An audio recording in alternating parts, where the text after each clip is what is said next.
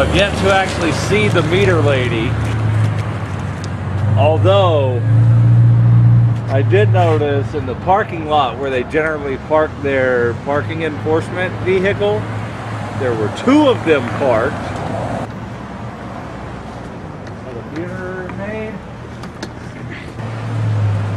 So that is one of the parking enforcers who apparently is taking a break to play with the puppy.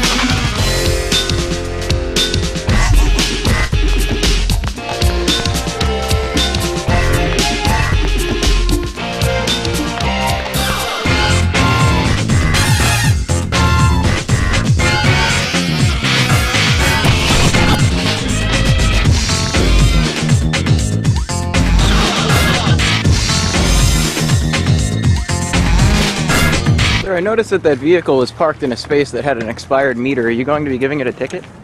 No, sir, I'm not. Is there a reason for that? It's a government vehicle, city You- vehicle. Do all government vehicles get a meter exemption? Or is it just parking vehicles?